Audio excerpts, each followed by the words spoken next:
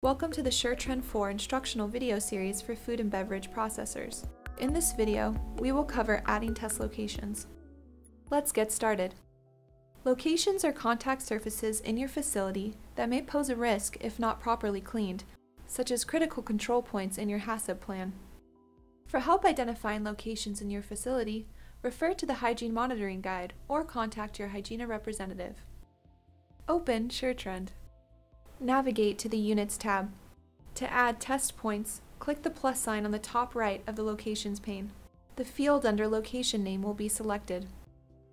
Type the location name, then tab or click to complete the other fields, and once completed, press Enter. Hygiena luminometers display up to 20 characters for the location name. You may also click into the empty box under Location Name and start typing. On Ensure and SystemSure models, the fields displayed on the system screen include location name and upper and lower limit.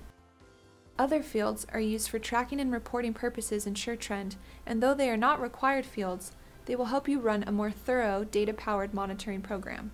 For help setting upper and lower limits for locations, refer to the video titled Setting ATP Pass and Fail Limits for Food and Beverage Industries, or refer to the resources on hygiena.com.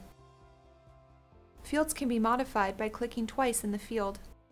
You may rearrange the order in which locations will appear on the unit by clicking, holding, and dragging rows to the desired position. You may also sort and filter columns such as in alphabetical order, then click the Save icon to save the order of locations. This will reassign the order number. To remove a location, highlight the location, then click the minus sign. Remember to sync your unit when you're done. A great way to organize groups of test points is using plans.